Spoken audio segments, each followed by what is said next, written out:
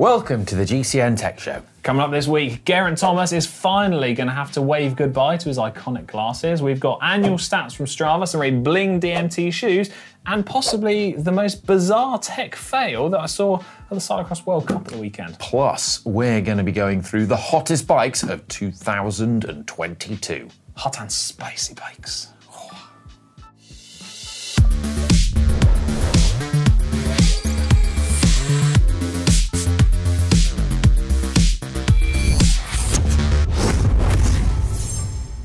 First things first, let's take a look at last week's poll. Let's do it. So last week we were asking if we thought the UCI, UCI sorry, should relax its rules and allow for more technical innovation.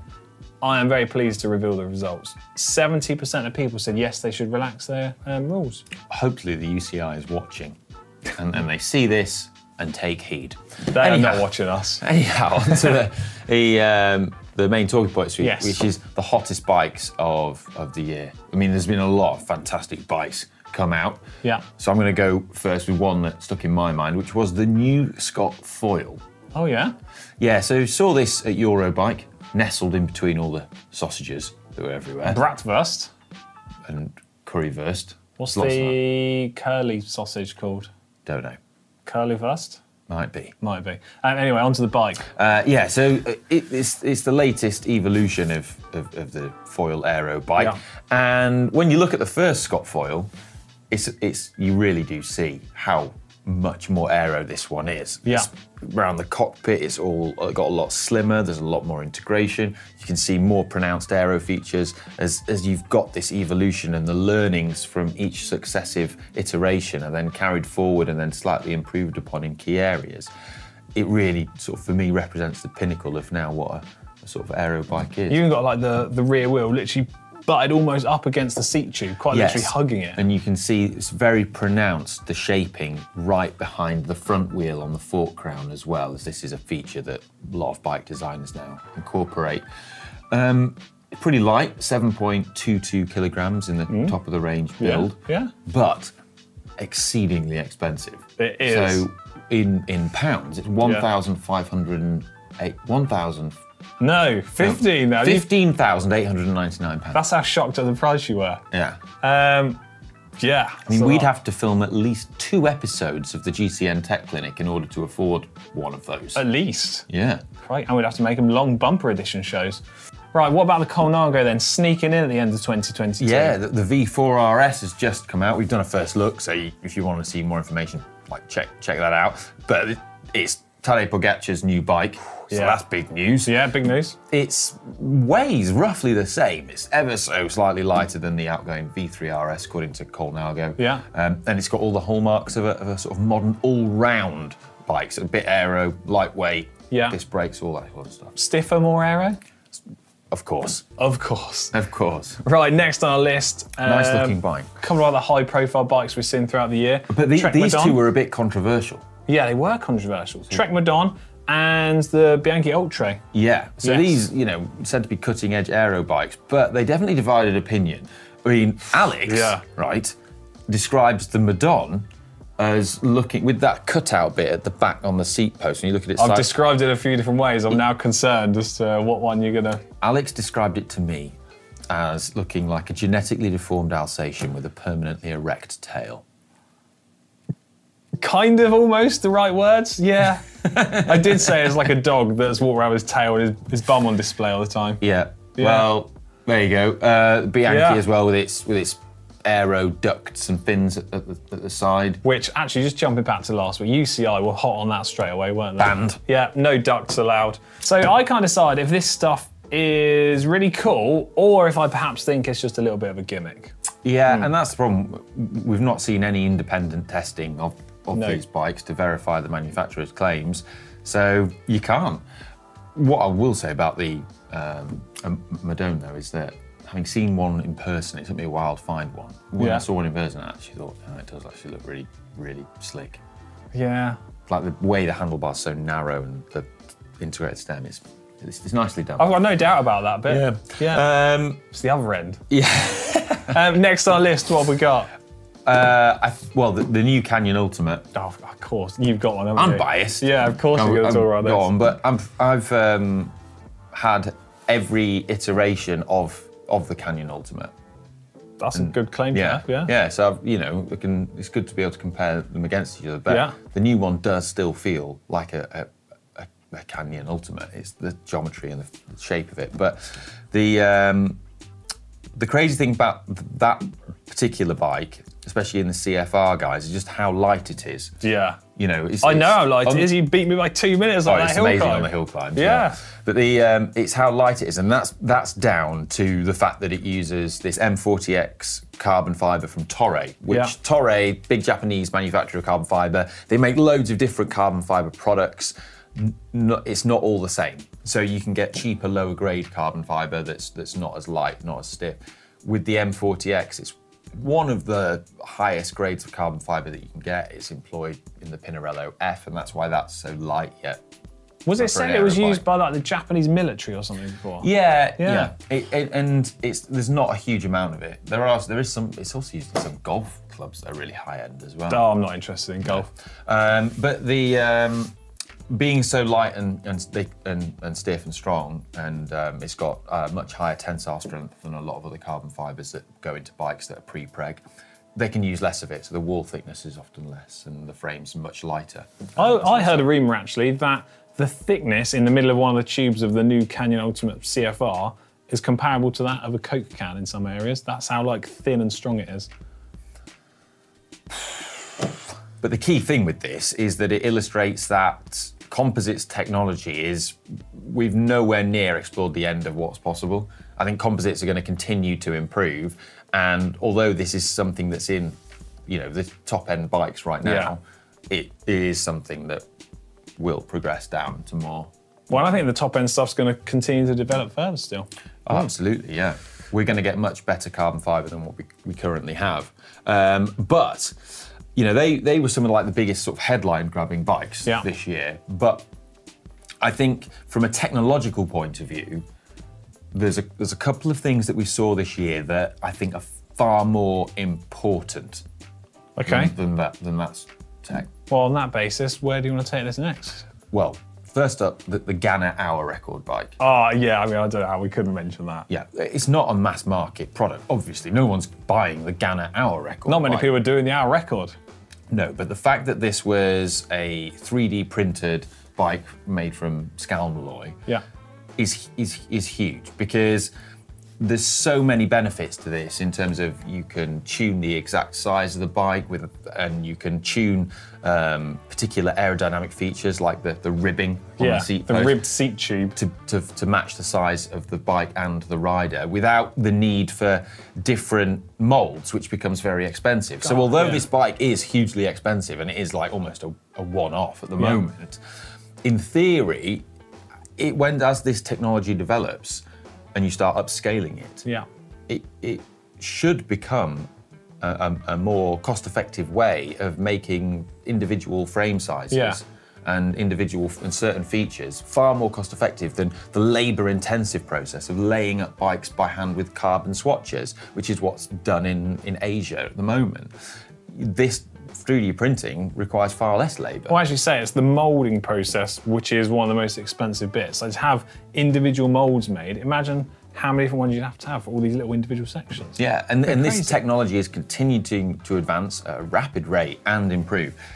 I think it's only a, a matter of time until we start seeing more mass market, like 3D printed uh, bikes and products and, and parts of bikes.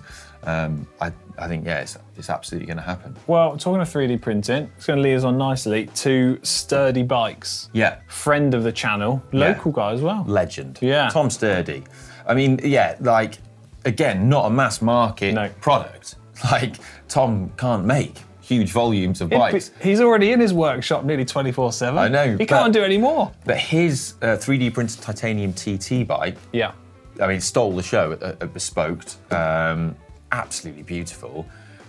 But it shows again what can be achieved, like a completely custom geometry frame. Yeah. The integration and finish of like the the sort of in, the bar and stem made out of titanium. The Incredible. crankset, Yeah. beautiful. And again, this is an example of like, this is a man in a shed.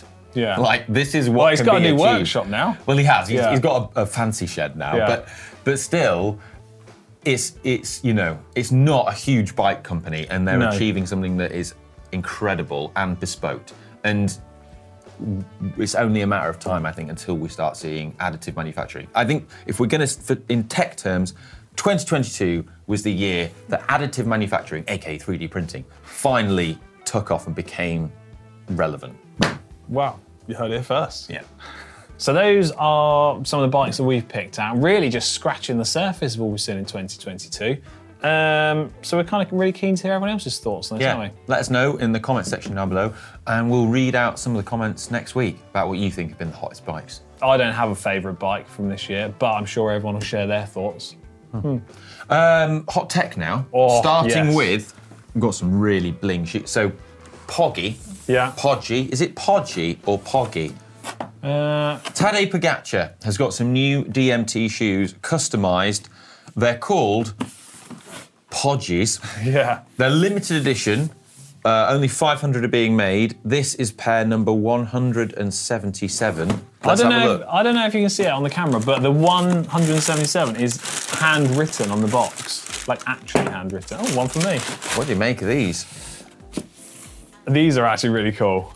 So these are based on the uh, KRSL, which is DMT's lace-up shoe. Uh, although feedback from Tadej Pogacar Mm-hmm. has actually apparently resulted in the upper being even lighter than it Even was lighter? before, and they've got a new anatomic sole on them. Um, what do you make of these? Nice, isn't it? With the sort of yellow accents on the I nice really white like shoe. it. Also, they've got uh, Podgy Numbers. or Poggy. Yeah. Um, they've got his TP. his branding on TP. That's unfortunate for the American audience, isn't it? I don't get the TP joke. They think it means toilet paper. that is unfortunate. Yeah, I know. um, so yeah, this I is like it's quite cool. It says one one one seven seven like written on the shoe as well. That is really cool. They're really smart. Aren't It's on the inner, and it's on the inner edge of the heel cup, so all your friends aren't gonna be able to see that. But it's Yeah. a good talking point of the cafe. So uh, just 208 grams for a uh, Size size, 42. 42, so pretty light. Um, nice. I like the shoes. fact that it's a one-piece construction on the upper, like real sort of Like a seamless design. Yeah. There we go. Put those in the box safe. Are you a size 42? Unfortunately, not. Me neither. I'm a uh, 45.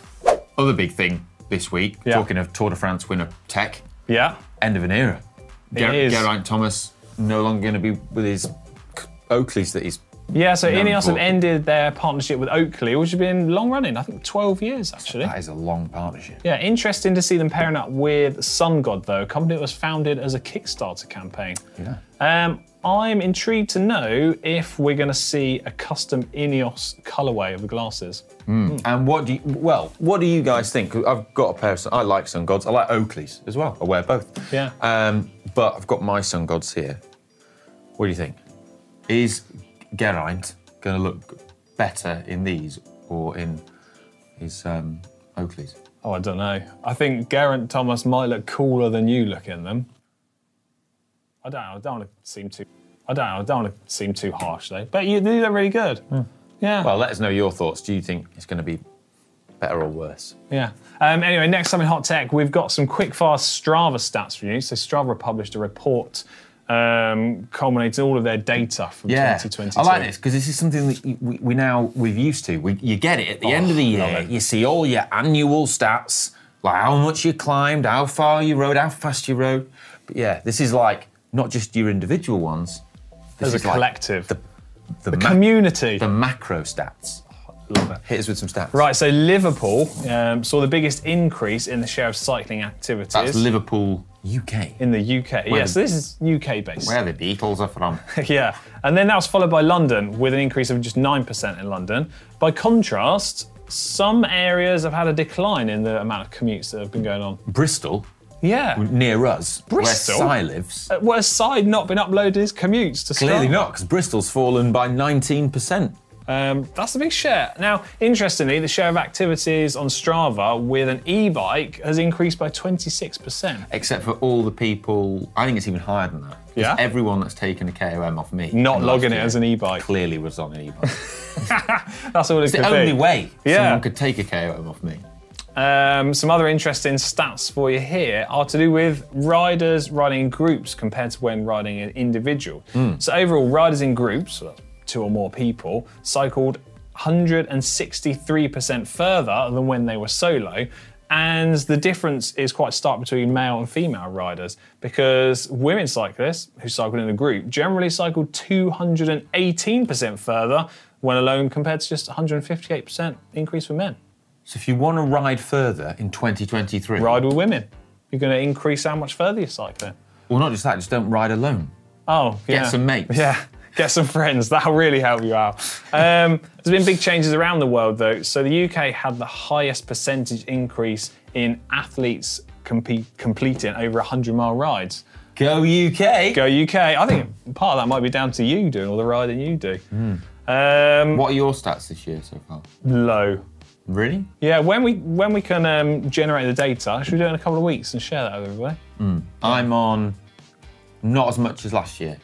Oh no, No. Back. COVID got me ill, and I, I Oh. got ill. I got I've been ill a couple of times. Lost Yeah. a couple of weeks. Um, well, um, how far do you reckon you've ridden this year? So far, eighteen thousand kilometres. That is a lot of cycling. There's no way I've done anywhere near that. I reckon I was on half of that. Um, anyway, next up in hot tech is the, the bizarre fail I mentioned earlier. Now, I don't think we're going to be able to show any footage of this, but the easiest way to watch and see what happened is by using the GCN Plus um, racing footage. Yeah. So you can go back and watch the Watch um, on demand. Well, yeah, watch the race on demand. But Wout van Aert was cycling past the pit lane on the section of the racetrack. In the World Cup. Yeah, in the. World Cup cyclocross in Dublin at the weekend, and somehow, like a mechanic's sort of towel or rag that he had hung over the side of the course, got like dragged into his rear mech, and it was like the most bizarre thing I've ever seen. One minute he's racing along, next minute he's got like a beach towel hanging out of his back wheel. What I don't understand is why he he because he'd gone past the pits. Oh, so this is this is So why didn't he have to like then complete the lap? So this is an obscure rule. Well, it's not obscure. It's just one of the rules of cyclocross.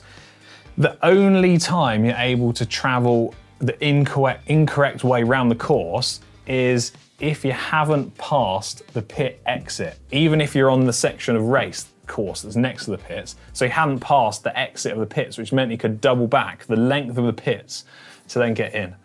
It's a weird technicality, but um, it saved his race. He went on to win because had he been 20 metres further round, he'd have had to run all the way around the lap. What would have happened if he'd vaulted the wall? Oh, you're not allowed. You've got to go back and in. No. Yeah.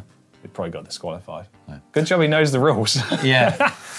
um, also, this week, uh, Zwift Academy has started. oh, yeah. Can't wait. So it started a couple of days ago. Yeah. And the final episode is on Saturday. So there's an episode each day. Um, I, I mean, I'm loving it. I, I've got to be honest. I haven't seen any of it. What I'm going to do is save it all up and then watch it straight I won't through. spoil it for you then. Oh, yeah, please But don't. it's really cool to see our mate Il Bandito, Yeah. Hmm? Luca, who was in the video, video versus Feather. Um, Yeah. that's really cool. He's he's doing well, and I just love that this is a, a, a thing. I love that it exists. That you've Yeah. got this thing whereby people who might not um, come become professional Yeah. cyclists are given this actual genuine opportunity to just show how talented they are and find another route into the sport. I'm Thank totally God. with you on that. Like a genuine opportunity and There's serious talent there. a really good um, like support network through it to make sure everyone's doing the right things, going about it the right way. yeah. Yeah, cool. Well, check it out. um, right, on to comments of the week. Comments of the week. Like it. That was good. That one. Off the cuff, that one. Yeah, Yeah. that's good, yeah. Um, what we got first? Um, this is on the last week's show Yeah. from Look In For a Nick. Um, okay, here's a product pitch for you for free. Oh, nice. We thanks. normally have to pay for them. Yeah. That's nice. Uh, a T-shirt with a cartoonized face of Ollie, a bit like the one in some Zwift screens, uh, saying, "The UCI has no jurisdiction here." I would buy it.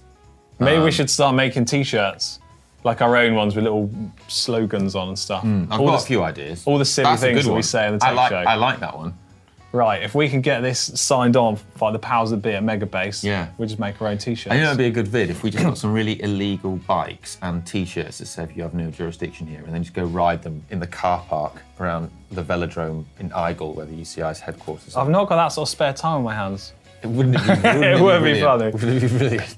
Um, Yeah. Someone else almost also commented. So Felix said, "Could you wear some massive sunglasses like ski goggles to make your face more aero?" I think they've been invented, and it's called a visor. Well, Si wears those things as well. yeah. Si, those, you know, those glasses he wears. I only found this out the other day. The lens in the glasses is actually exactly the same as ones that's in ski goggles. For me, that'd be a too smaller lens for ski goggles. I want a bigger lens for Oh. skiing. Okay. I, well, I'll tell you what would be a good tech show. Yeah. Things that the UCI hasn't yet banned that we that we wish they had. I'm starting with size sunglasses.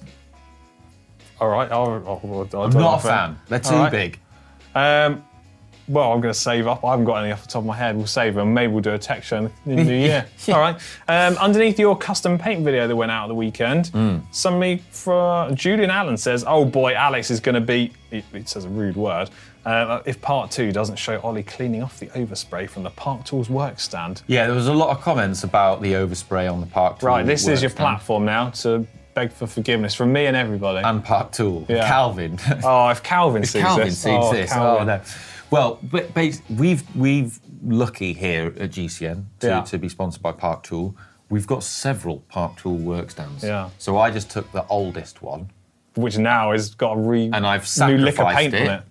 It's now Yeah. the painting stand. Um, So well, if you need to do some painting, Yeah. we've got a stand, and you don't need to worry about getting overspray It's on it. Ice Effects Park, Park Tool stand. Yeah. Um, okay, last comment. So this is underneath our Slow and Winter video that was out at the weekend. And I'm in 100% agreement with this comment. It's from Yeah. Christian. He says, I guess going slow in winter has to do with the unexplained fifth fundamental force in the universe, the one that pulls you closer towards the sofa. That's I have that problem basically in winter. Do you? Yeah. I- Go to get on my bike and I just can't resist the forces. I deviate into the lounge. I just keep um, jumping on the turbo. I just can't be bothered going outside anymore. yeah. Okay, fair. I think the last two weekends I've just ridden inside. I've ridden the turbo a lot recently, Yeah. actually. Um, right, it's now time for the bike vault. It's my favourite part of the show. This is where we pick out bikes that you've uploaded on the GCN app. We judge them to be either nice or super nice. If you want to play along at home, download the GCN app, on all the bikes. Um, got? The bell, right. The bell. If it's super nice, I ring the bell. So the most super nice bike from last week is, take away, Ollie. Peter dot L with his Sarto Oh, Seta. What do you think of that? Is that custom geometry? geometry. Is Yeah, custom geometry that one?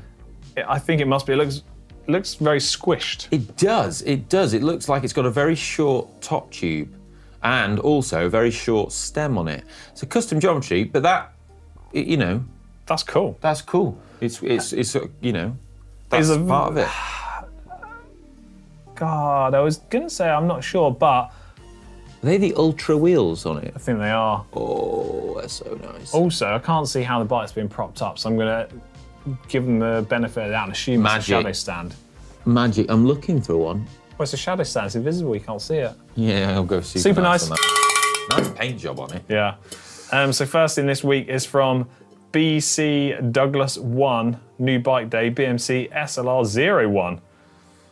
What do you Oh. make of this? Nice speed plays on there. Oh, lovely. It's uh, yeah, ah, it's a super nice, isn't it? Yeah. Well, well kept lawn and shrubbery in the background Little. as well. Is that a very small little solar panel powered lights in his garden? Sit in the grass?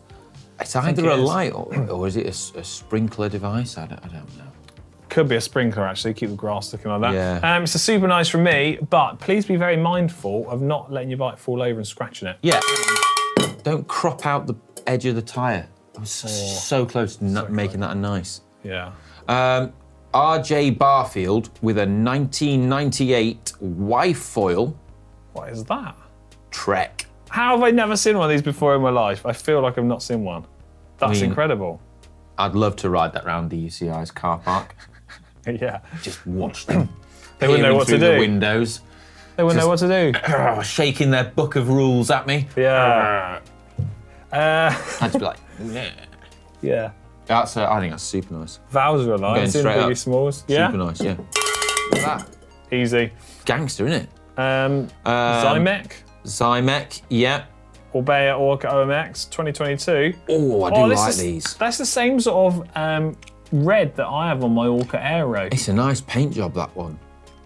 I've not seen one Um, with Corimas on it either before, but that's really cool. I like it. And the new Ultegra.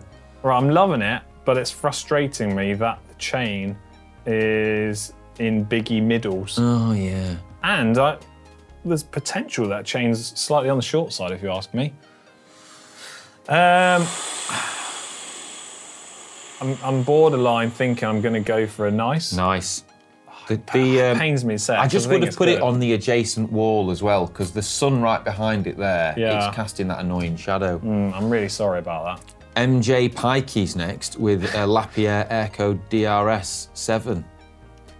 Um, first thing, I am a big fan of multicolored spokes. I don't know if that's an unpopular tech opinion, There's a lot going on here, isn't there? but there is a lot going on. I tell you what, he's got the Ultegra power meter as well. What? I didn't even know that existed. No. Well, I, I knew it existed. I just have never seen one. In, in, in real life. No. IRL. Um, I like this. It's a shame that the bike is not matched up with the angle of the camera and the wall. yeah, We've got a selection of different angles going on here. yeah. But it's a nice clean wall. It's a nice clean wall, but I've just. Good grouting in there. Isn't you know? There's some. There's, there's No, not, no, no, it's not grouting, Well, yeah, that's pointing. Yeah, pointing. Yeah. Thanks for thanks for Builder correcting me. speak. Yeah. Real builder stuff. Good pointing. Um, having just voted the previous bike a nice because it was in biggie mediums or biggie middle. Um, Let's completely just make up the rules as we go and say this is super nice. super nice because you've got different coloured spokes. Rob Tef C. Yeah. What's he got? He's got a C68. Oh. Uh, a nice bike, but Oh, jog on. dreadful. Jog on. Dreadful. No, no. It's not even a big rig. Nice. It's in smallsy mediums. Oh. Yeah, it's a nice. Oh, We can't dwell on this. Ollie's oh going to go into a meltdown Oh. in a minute. I mean, if you've What are you invested, playing at? if you've invested your It's hard-earned cash, C68, man. I'm, I'm actually lost words as well. Genuinely. What are you playing at? Um, improvement needed. Please try again. Actually, what is really funny is I forgot to mention this. I've made a little note here. Hmm. Rob, um, the person who uploaded this, very kindly uploaded 36 different images to the GCN Of the app bike? Of the bikes. And that was the one that was in the bike vault. and that was the that was the best when I went. That was the bike best one. That was the best one I could pick out. like Rob, I'm really sorry, but I think you could do better than that. Yeah. Um, we can't dwell on that any longer. I'm going to put the bell away. Um, that draws this week's show to a close. It's been really interesting. It's been great fun. And don't forget to comment in the comment section underneath what was your favourite bike from 2022. Hmm. We're out of here. Bye. Ciao.